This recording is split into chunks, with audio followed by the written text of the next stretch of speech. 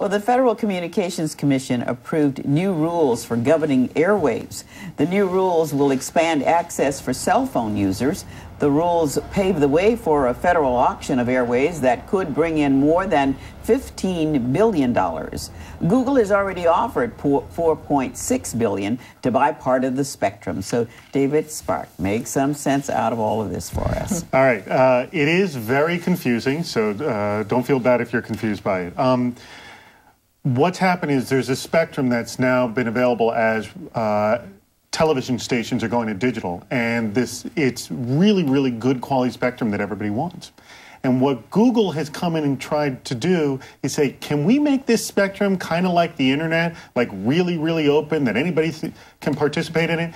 And the FCC said, uh, we can kind of do it. We'll kind of halfway go there. And essentially, their kind of way of doing it is we're going to be kind of like Europe which means you can buy an unlocked uh, phone or and use it on any carrier uh, that you want, which is not the case now. So if you buy a Verizon phone now and you want to switch to Sprint, you got to dump that Verizon phone and buy a new Sprint phone, and that that becomes that is what they're offering instead of this sort of ubiquitous world that Google had mm-hmm. was hoping for. I think the first part of it says the governor's going to the government is going to sell off the airways.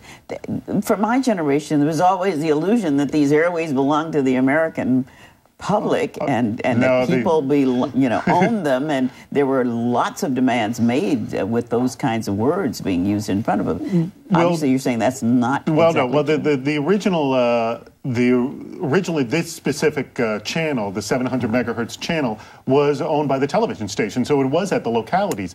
Now what's happening is the enormous telcos are going to come and buy them, and they own a lot of spectrum out there, and spectrum is finite, and so it is believed this might be the last good piece of spectrum to take, and they want to take as much as they want. Will they actually use it? They may actually just warehouse it and not let anyone else have it. Why are consumer groups upset about this if they if it would give them the versatility to use their phone on any network? Well, I think the consumer groups are having this fear of Google sort of taking over and being another, you know, another carrier here because there's a sort of feeling that Google's taking over. And what I think is more the issue is that Google is trying to devalue the ca uh, the carriers' networks out there because Google made all its money on the internet, and the internet is as, as open a network as you can possibly imagine.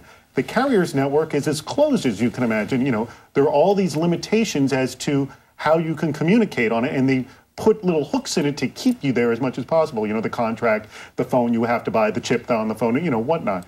Um, I think there's sort of this generic fear that Google's putting its hand in too many spots.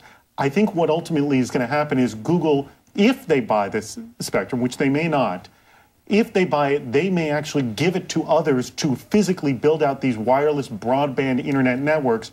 And ultimately, the more devices out there, more people using browsers on devices, more people, that means more ads Google can sell. And that's the ultimate goal for them.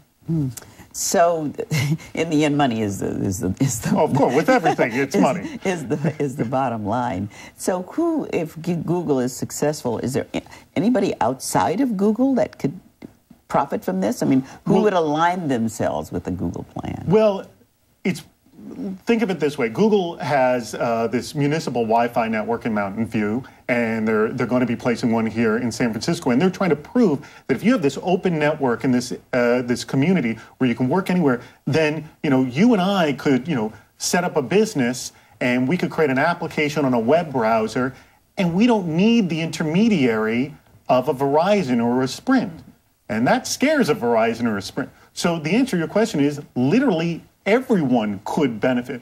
And ultimately, uh, what I think is going to happen is whether Google or not buys this or not, in these municipalities like Mountain View or, or San Francisco, they're going to try to prove their theory, which will hopefully scare the carriers. Will the FCC have any control over how I mean, once the, the auction takes place, mm -hmm. uh, like the television stations that we know today, right. uh, there was an oversight, and you could go and petition the FCC if you were not getting the service you wanted.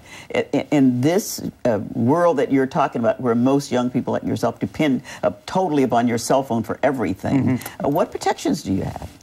Protections in what Terms Google's doing or what the FC w- What the FC, what is, how does the FCC see that they've carried out their duties by going this way? They've carried, well, first of all, they haven't opened it up as much as Google wanted. And so that they haven't done. That, you know, Google has this vision, and it's not the same vision that the FCC has. but the FCC believes that they have ultimately, uh, you know, done this great thing and all these wonderful things to happen because any application and any device can work on any network uh, given this very specific spectrum.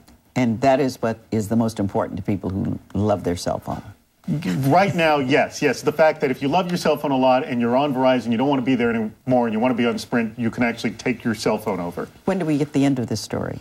Oh, it's going to take a few years. This is not going to happen overnight. Okay, Or thank you. Maybe more than that. Thank you so much, David.